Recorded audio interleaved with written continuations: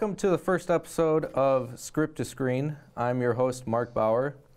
Um, I've been working here at PATV as an intern for the last few weeks, and the staff here has been kind enough to help me put on a show of my own. Outside of PATV, I am a student at the University of Iowa where I study cinema and English. And uh, I'm interested in creative writing and filmmaking, so I thought I'd uh, use this as an opportunity to talk to local writers and filmmakers and uh, get to know what they're working on. So today, my guests are uh, Peter Frankman and Robert Flanagan. Hello. Hey. I've had a few uh, writing classes with them, and uh, so we uh, know each other, obviously. It's good to see you guys here. How have you been? Been okay. I'm kind of sick. Uh, Yeah. Also, I yawned right before we started rolling, and it made me look even more sick. I think. So that's good. I mean, I feel like I don't even know you anymore, but Oh, if yeah? you want to say we know each other, What's that's okay. happened? I don't know. Why don't you tell me? It's, it's been a while. Let's talk about uh, what do you like to write specifically? We took a fiction writing course together where we all wrote a short story. Uh, so I was wondering if you guys have both stuck to that craft or if you've moved on to longer works or even genres. Are you writing nonfiction? What have you been up to, Peter? Well, lately I've been writing a lot of nonfiction. Uh, I was studying abroad in Germany, and during that time I wrote a lot of essays. Basically, everything that happened that I thought, oh, maybe this is a significant event, I tried to write as an essay or at least record it and see if it came up as something good later. But uh, in the meantime, I've also been working on a novel. I'm about 30,000 words in, which is terrifying because I'm like halfway done with something. Yeah. Yeah. Robert? Uh, I don't really like writing things. Yeah. I'm just kidding. Uh, uh, I like uh, I like screenwriting a lot. Uh, I've written a couple short films. I have I've written one full length screenplay. Uh, it's full length, but it's like 110 pages. I guess it's like kind of full length. Is that, uh, we took a screenwriting course together. Is that the same one or is It's- it? Well, I have that one. That one's only like 50 pages. That Okay. one I never finished. it's, it's, it's like I want to finish it, but you know, it's one of those things where it's like I'm kind of bored with it. I guess now. Mhm. I don't really want to do it. But mostly, I write stand-up comedy because that's mainly what I do now. Like I performed at Green Gravel, and then I won Cab's like comedy competition, and then I performed last weekend at uh, Floodwater, and I just like communicating orally a lot more than communicating with the written Sure. word because I feel like I can express myself a lot better. Yeah, and then you have the immediate audience right there. Oh yeah, to let immediate you know. feedback instead of like, oh, we're writing, we're writing, we're writing. Maybe in a few weeks someone will, I can force someone to read this, and they'll be like, oh, it was well written, Yeah. good job, and like, oh, thanks, sweet. like, no, just go up there and be like, my wiener, and everyone's like, yay, this is great, we love it. Man, yeah, I your, like that. your wiener gets different reactions than mine, but you know, whatever. Yeah, it's you know, it's part It of the happens. craft. I, I think it's out. different because he's doing it on a stage. And I'm just yeah, you shouldn't just go outside. Doing it in public, Yeah, yeah. it doesn't work that way. Yeah. yeah, different, Different ball game. yeah. ball game. Yeah, very, very clever of you. Choice words there. Yeah, I got it. Uh, so, Peter, you mentioned that you studied abroad in Germany. Uh, what specifically were you there for? An internship or? No, no, most definitely not. Uh, if I studied abroad somewhere, took German before in high school, so I figured, why not? Mhm. And it was interesting. It was okay. Yeah. Yeah, So, how long were you there? Four, four-ish months. I mean, August to like uh, I came back here January 2015 after spending like a few days in Ireland. So Um, I saw that you kept a blog while you were there. That Yeah. was pretty entertaining to read. Like, thank uh, you. I enjoyed specifically your. Uh, you had your appendix taken out in Germany. Yeah, Yeah. it was. I Uh, don't know if you want to recount what happened there, but Well, actually, I brought that along to read later. But uh, what happened was I, I was hanging out with my friend Lacey one day. No, it wasn't even that. I just walked towards campus because my and my stomach started hurting, and I could barely stand up and I could barely sit down. And I called this girl that I knew there, and I said, "Hey, come get me. Just come be near me in case I die." Walked to, walked to her place. Girls love when you say that to them. I mean, I got into her bedroom, Oh, so. the- oh, Yeah. Well, No, no, yeah, yeah, that would have been the worst experience ever. So like, I'm barely standing, barely moving. Uh, eventually called a doctor. Ended up going to the hospital, and uh, after a few quick taps to my stomach, they were able to determine I had appendicitis and took it out. hmm so you were able to kind of keep a sense of humor about it in the blog. I remember you mentioning the doctor poked you. I was like, uh, there's a lot of you. Yeah. You're uh, a big guy, so Yeah, it was weird. Um, I definitely understood the whole time. I understood this is funny. I was like, this is gonna be great. yeah. At the same time, I was thinking, I hope I don't die, or they don't Mm-hmm. Yeah. mess up because I don't speak German. At least I don't speak German well. Right. Especially since it was the first week of classes out there. So my German was terrible. I'm trying to talk to these doctors in English or in German and see what happens. And I, I, I knew it was going to be funny. It was just, it was, it was rough. If I wasn't laughing, I would have been crying. I think. So the way you diagnose appendicitis is you just like tap them, Yeah, it's and if they go ow, you just it's like a very open? specific. Like if you get poked in the stomach, like if you get poked, right? Yeah. Like that's fine. It's fine. Yeah. Yeah, it's fine. I mean, I, I'm fine, but um, you're like not like Ugh, you don't have like an immediate reaction. Yeah, yeah. I, I was getting touched, and I was just like doubling over, and oh, um, they made sure like I mean they tried like four sections of my stomach to make sure it was all right. Then when they got to the appendix, they were it was done. They're like okay. So, Robert, do you similarly uh, draw from around you for your stand-up? Do you look for absurd moments, or Yeah. is it a lot of observations, or is it thinking about things and how absurd they might be? Or It's a lot of like recollection and observations and stuff. Like I do this thing where I keep a life journal where I try to like recount like you know years of my life like because like for a while I was like I just I would think about my childhood and realize I just don't remember anything from it until I started writing about it. I was like, oh fuck, I remember all these things. I remember 9/11. That was hilarious. uh, like stuff like that and. I guess like w- that's definitely something that I do. Yeah, of course, like, I draw from real life and myself because the worst thing I think are comedians who sit around and not not that you just if you just sit around and try to think of something funny, Mm-hmm. you end up something that's kind of contrived and that anyone could say and it'd be kind of funny. yeah, You know what I mean? almost like reading jokes out of a book or yeah, something. yeah, yeah. yeah. I like that. I like you calling it a life journal. It sounded a lot like you were going to describe a diary. Because when I think of life journal, I think of like a guy who's trying to hide that they have a diary. Oh, really? Oh, yeah. Yeah. Well, I have a diary too. Yeah. Yeah. I write in it every morning, but usually it's just long strings of vulgarity at this point. Yeah. It's not a joke, it's just real life. That is life. Yeah. Yeah. So uh, I know when we were all in fiction writing together, you had a show at Public Space One, and Peter and I went to go see that. I don't Public Space One. It was Yeah. a, uh, your buddy. Uh, Lev was there. He did a show, he, or he had a puppet. he did a bit with his puppet. Oh, I hated that. That is literally the worst gig I've ever done. Oh, really? It was at Public Space One, and it wasn't set up on the stage. First of all, it was like in front of the stage. Um, the audience, there were about ten chairs set up in a sort of semicircle, as far back as they could possibly be from the front. All fluorescent lighting, and then there's like seven people just sort of staring at you, and there's no like, okay, here's Robert Flanagan. It's just Kurt like, hey, go up there and do it. It's just like, "Oh, okay. So I go up there and do this material, and just like, it's brutal. it's like, there's no one, no one is down with it, and it's also the weirdest environment to do stand up in. Mhm. Did you, I did not like it. Yeah. not not to ask a question. No, go for it, man. Did you realize you were being heckled? By who?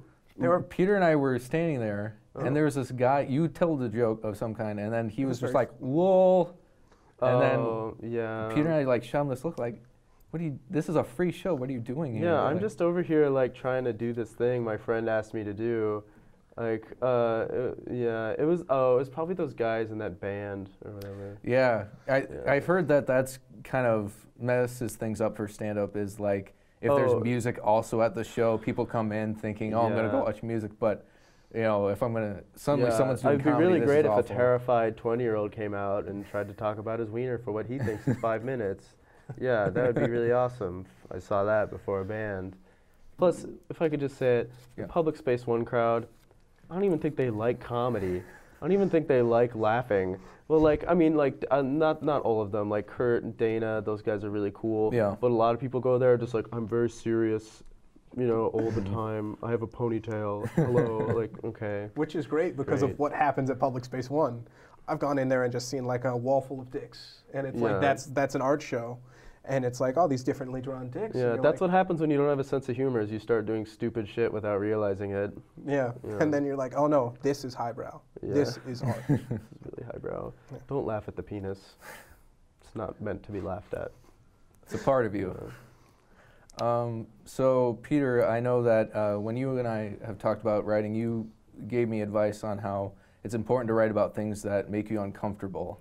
And I know that's something that you've really been interested in. I don't know if you want to talk about that some more. Well, I had this uh, this professor in Ireland. I know you had him too, Mr. Roper. And Mr. Roper always told me to uh, focus on things you didn't want to talk about out loud.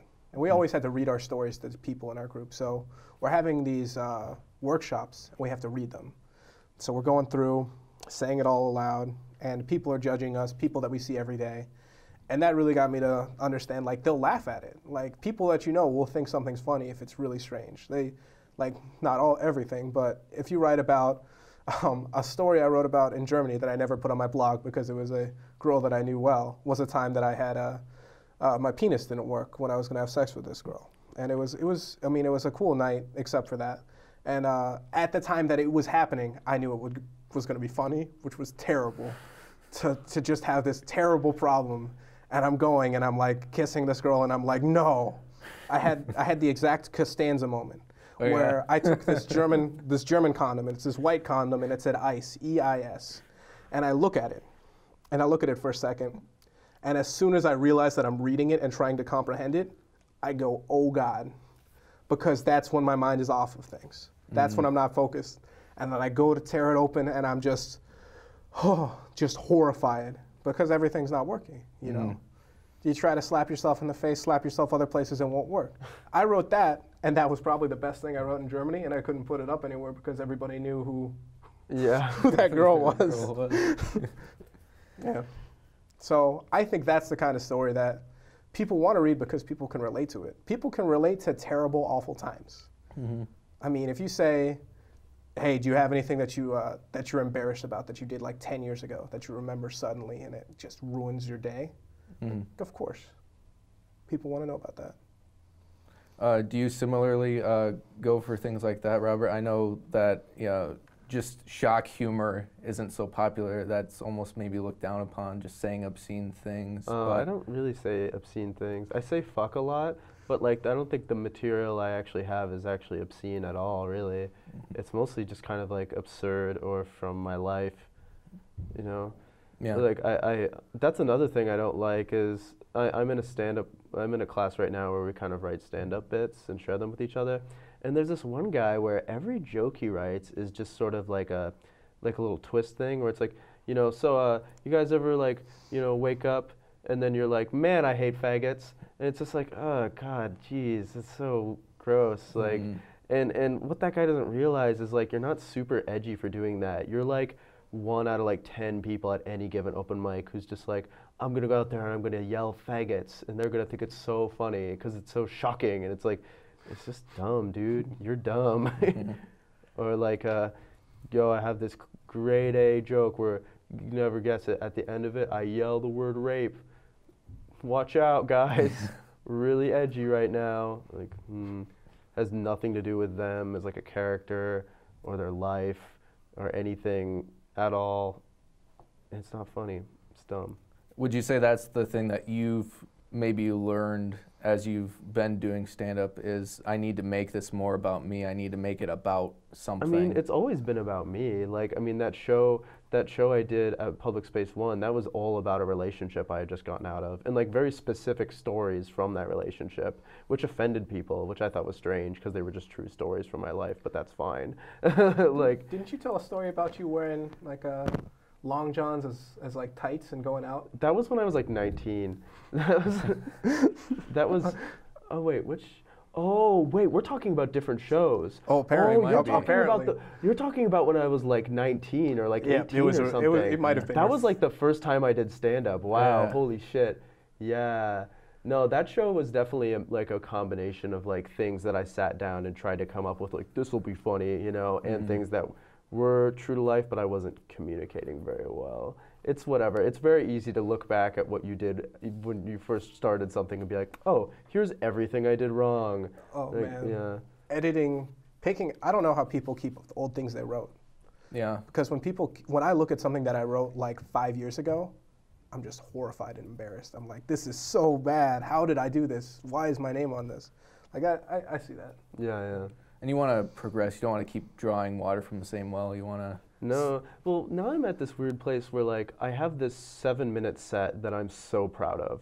It, I did it at Green Gravel, and people, uh, like comedians I don't even know from other cities, are like, "You're really good at stand up." I did it at that competition. I got first place. I won a big TV. It's like a trophy that plays movies. It's great. Yeah. Uh, I did it this last this last festival, and like I I got invited to go drink with uh, the head writer of Comedy Bang Bang and the vice president of College Humor because they thought I was funny.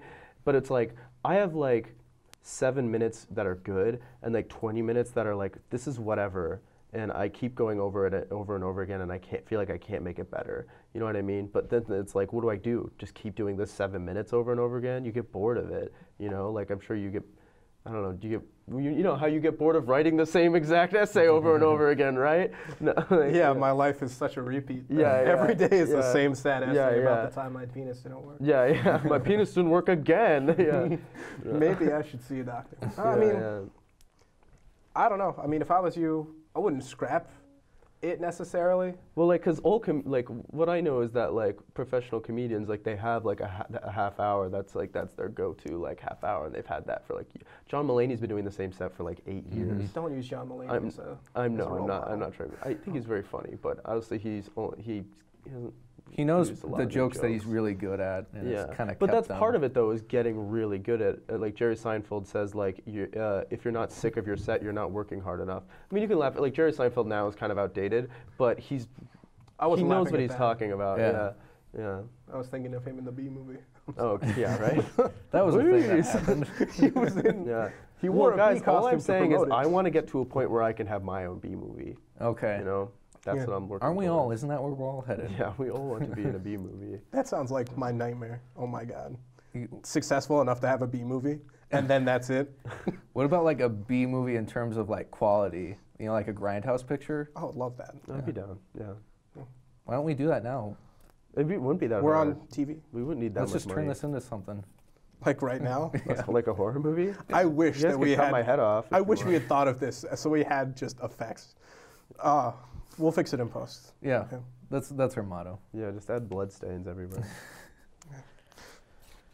Uh, so you mentioned uh, Jerry Seinfeld. Uh, I don't know if you have any influences, or do you draw from wherever, uh, movies and TV, or just specifically comedy, or Mm, movies definitely a lot, but I mean, i- in terms of like specific comedians, I would say. Well, I really like Patton Oswalt, but I don't know if my comedy is like his. Like, I don't know who whose comedy my comedy is like, but who, who I really like is like, like Louis C.K. Obviously. Mhm. Uh, I really like uh, Kyle Kinane. Uh, I like I like Hannibal Buress a lot. He has the perfect cadence, in my opinion. Like I want everyone to talk to me like how Hannibal Buress talks all the time. That would be great. Is Um, uh, did you see a set here? I did, yeah. That It was so sad. okay. It was okay. I don't know. He didn't seem on his A game that night. He's kind of phoning it in. did you see uh, Cameron Esposito when she was here? I for- didn't, but I have a funny story about that. Uh, my friend John, the, the head of Mission Creek, uh, mes- messaged my friend John. He's like, "Hey, do you know any like female comedians?" So John messages me because I know a lot of comedians, and I gave him like my top three female comedians right now, and I've said Cameron Esposito is number one, and he sent that to him. Uh, a few days later, they booked Cameron Esposito. I'm just saying, I think no, I I'm I just keep telling that story, being like, I got Cameron Esposito. I I got her. I don't see why you can't Flanagan. not take credit for that story. I, mean, mean, neither. That's what I'm saying. Not to Yeah. one up you, but you mentioned Patton Oswalt earlier. Yeah, yeah. Did I ever tell you about him working out at my gym in California? No. I think you wait, told me this. Hold I on. told you it's a good Sounds like a lie already. It's totally Patton not a lie because I going told to the Marc this gym. before. Yes, he, he does go to the gym. I went to a gym, the Toluca Lake Tennis Club in uh, Toluca Lake, California. And it's this ritzy tennis tennis club. I go there to work out with my trainer. And uh, I went in and I saw Patton Oswalt. And I'm like, okay, you know, and he's like super tiny. He could fit in my pocket, you know. yeah. and um, he's kind of working out, I guess. And uh, then my trainer takes me outside to run up and down these stairs. And I go to do it, and I'm huge, and I'm sweaty, and I'm like, you know. And Patton Oswalt just suddenly pops up through the door and walks past me. He says, "Excuse me, I'm you know I'm sorry," and I'm like, "Okay, what?" And then I run up, run down, and like right before I'm gonna run down, he comes back and he says, "Oh my God, I'm so sorry." I'm like, "Okay," you know, and then I go to do it again, and he gets in my way again. And he just starts just completely just apologizing, like, "Oh, I'm sorry, I'm sorry," and I'm I'm standing there, and I didn't say anything to him because, like, for one, that's Patton Oswalt. I can't be like, "Dude, like, could you stop? What do you? Where are you going?" Is he doing a bit? No, he was just in the way. Sounds like he was doing a bit. It's gonna be I wish funny. I was. I wish he was doing a bit. Maybe he doesn't go to the gym to work out. He just goes and he gets in people's ways. He goes, "I'm so sorry." He goes to aggressively bother people. Yeah. I, I hope so because that was that was just weird because I was, I was like, oh hey, I know I kind of met Patton Oswalt today. How he got in my way at the gym it was fucking terrible. Uh, Peter, you mentioned you are working on a novel. Is that uh, something?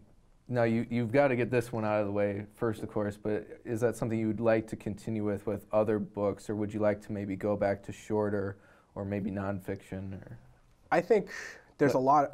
There's a lot to be said for finishing something long. It's it, you get tired of things so fast, as Robert said, and if I was just able to knock this down, if I was able to get 60 or 70,000 words written about the same subject, that would be a great time. I would be very proud of myself, and I think that's what I'm trying to do, just to see how it goes. mm-hmm. Um, I'd like to continue doing that if it's successful. I think there's something to be said about short stories too. Uh, Mhm. One thing that I've liked, uh, I recently read I Pass Like Night by Jonathan Ames. And that was a novel that was written in the form of like a bunch of different short stories. Mm-hmm. They're all about the same character and they're all actually related, the same time period, but each one of them could act individually as a short story, a lot like uh, Denis Johnson's Jesus' Son. Mm. So I'd like to try that. And I keep thinking about it, which is terrible because I'm like, no, you got to focus. You got to finish this so you Do can the move one thing, then yeah, move on. You got to do something before you can go and try to do everything else. So Is there something that you've learned about doing this longer work that maybe surprised you, or that's definitely different from a shorter piece? Or is it just kind of you got to keep yourself going? planning. I, uh, I never thought about writing a novel in terms of having to plan things out, which is silly to some people. But when I took this novel writing class with uh, Professor Venise Berry, who actually has been helping me write this, um, she was like, have an outline, have a chapter outline, have each of those be pretty long, be able to explain exactly what's going to happen in this chapter and why that's significant. And um, that helped because, I mean, it's, it's tough to just sit down and crank out what this is supposed to be exactly. So having a guideline helps a lot. I know, Robert, you said you, you're mostly doing stand up, but uh, you've taken classes still at the university. Have you written uh, short stories or anything still? Not really, no. Um, I guess I'd like to get back into it. I just don't see. I'm trying to put most of my energy into something I see myself actually doing at some point. Mhm. Where it's like I like stand-up comedy, I like screenwriting. Maybe at some point I could like get a like a writing gig on some show. Like that would be excellent. Mhm. That would basically be my my sh- my goal right now. As you know, I mean, basically I'm planning on being poor forever, and then if that happens, that's like a nice surprise, you know. Mhm. But uh, no, not really. I don't know. Maybe. It, then again, it's something I'm starting to already like feel the.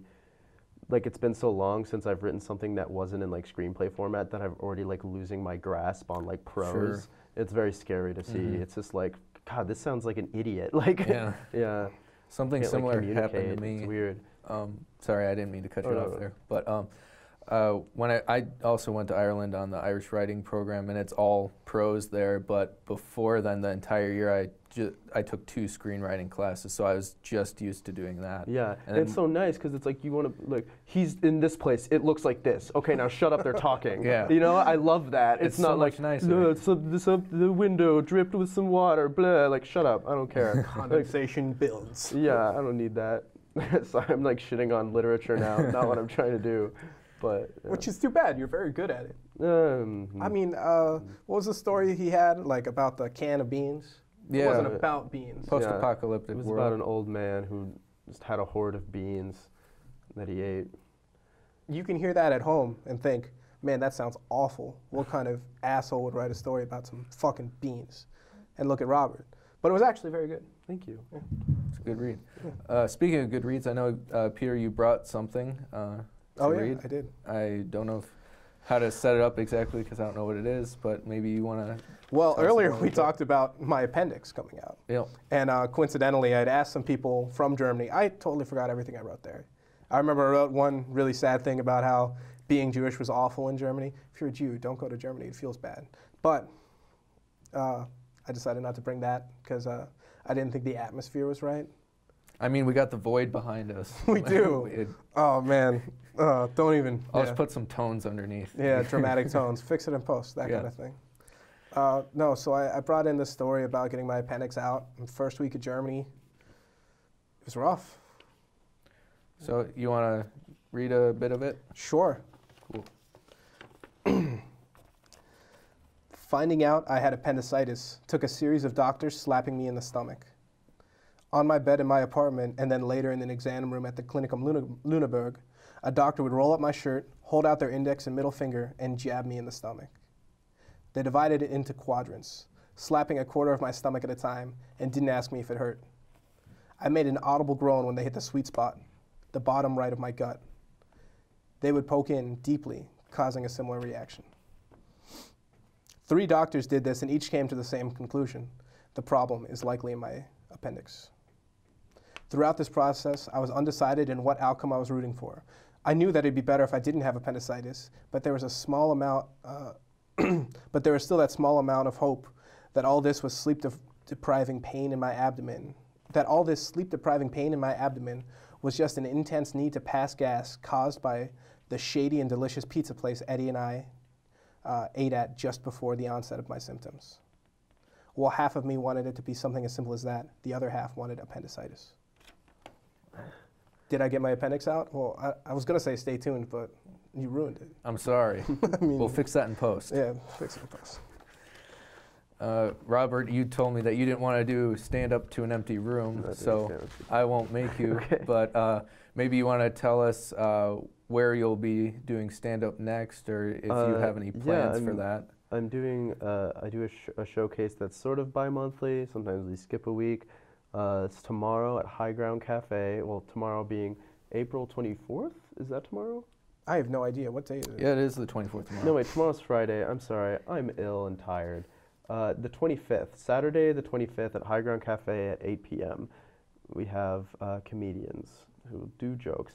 And then uh, next Friday, I'm opening up for Hasan Minhaj, who is a uh, he's a correspondent on The Daily Show and also a stand-up comedian. And uh, that'll be at the IMU at 10 p.m. Cool. Uh, Peter, uh, do you want to plug maybe anything where people can read your stuff, or I don't know if you, you plug your blog or Uh, where people can find things that you've written well, at all? if you want to find me, I live in Iowa City. Okay. I'm very big, and I wear red pants sometimes. But I, I guess if you want to find my stuff online, uh, the bro- the blog I wrote in Germany that I hasn't, haven't kept up in months is uh, peterdoesdeutschland.wordpress.com. A little bit of WordPress there. I didn't want to spend like five dollars or whatever to get that licensed. Um, yeah, uh, whatever. And um, I don't know. Keep a look. Keep an eye out for a book that might come out in two to three years. Sure. Or you could read the hospital's website, uihealthcare.org. I write for that. it.